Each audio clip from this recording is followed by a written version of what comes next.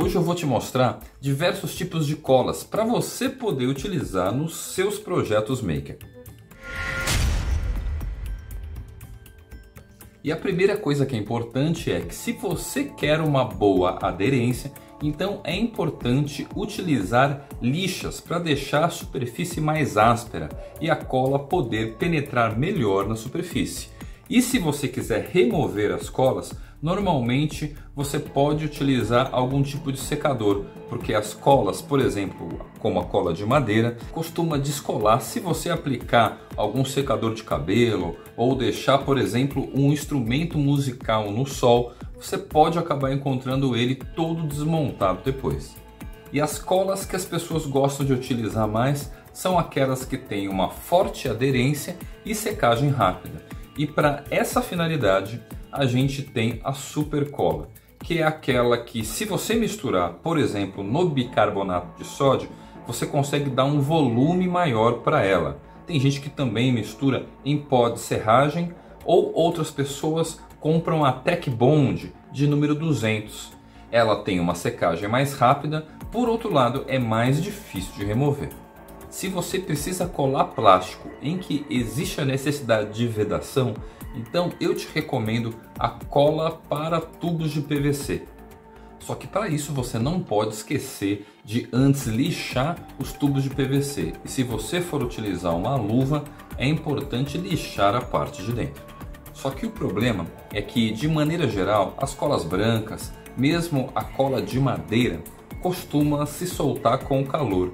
E para resolver esse problema, quando você precisar em um projeto de uma cola que seja resistente ao calor, eu te sugiro utilizar a cola epóxi. E, por exemplo, a gente tem aqui a marca Araldite, que é mais cara, mas a grande vantagem dessa cola epóxi é que ela tem uma secagem rápida. Então você precisa misturar o conteúdo dessas duas bisnagas na mesma quantidade e não demorar muito para utilizar. Agora, existem superfícies de plástico que são mais lisas em que pode ser que essa cola acabe não conseguindo grudar, como por exemplo esse pedaço de plástico que vem junto com a cola araldite, em que você percebe que ela costuma soltar mais facilmente a araldite, porque ela não penetra na superfície. Caso você precise colar dois pedaços de borracha, como por exemplo as pessoas costumam fazer reparos em tênis, então é interessante utilizar uma cola adesiva em que você vai passar a cola numa superfície e também na outra superfície, deixar secar por mais ou menos uns 5 minutos e então juntar as duas superfícies porque elas vão se comportar como superfícies adesivadas. Então você vai ter uma cola de alta resistência e que funciona muito bem para borracha, couro ou outras coisas semelhantes. A cola branca é a mais comum, em que as pessoas costumam utilizar para papel e papelão, mas ela tem um tempo de secagem um pouco prolongado. Mas ela é muito interessante para dar um acabamento ou para juntar as peças, por exemplo, de um quebra-cabeça, caso você tenha interesse em enquadrar, porque a superfície dela, em geral, fica transparente. Uma outra dica sobre colagem é que se você for tentar utilizar uma cola para isopor e você quer uma secagem rápida, se você for tentar utilizar a super cola, você vai derreter o isopor. Por isso que existe uma cola específica para isopor. E uma dica interessante é que se você misturar o isopor com acetona, você também pode produzir uma cola caseira. É só você dissolver o isopor na acetona. Existe também uma cola de artesanato, só que tem um tempo de secagem maior, que são essas colas de silicone, que também são usadas para vedação em pia, aquário e outras coisas em que existe a passagem de água. O problema é que normalmente a gente precisa esperar 24 horas para secagem.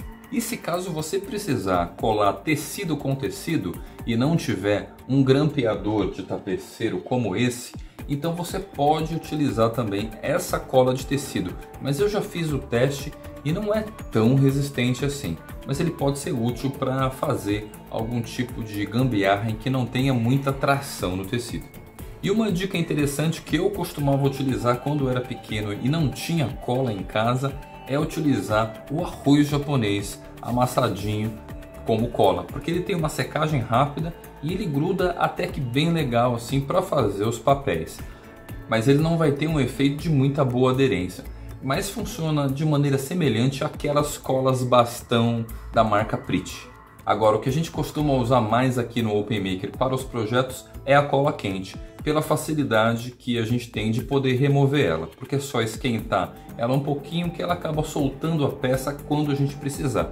Mas se você quiser saber mais dicas sobre como utilizar a pistola de cola quente e também conhecer esses bastões de cola colorido, então dá uma olhadinha aqui nesse vídeo e a gente se vê então nos próximos conteúdos. Falou!